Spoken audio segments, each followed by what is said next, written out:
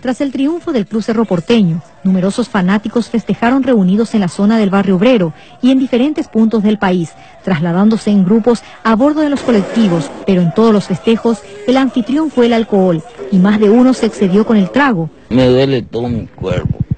¿Te atropelló algo? ¿Qué, te atropelló? Un Scania 360. ¿Cómo estaba festejando la victoria de Cerro? Sí.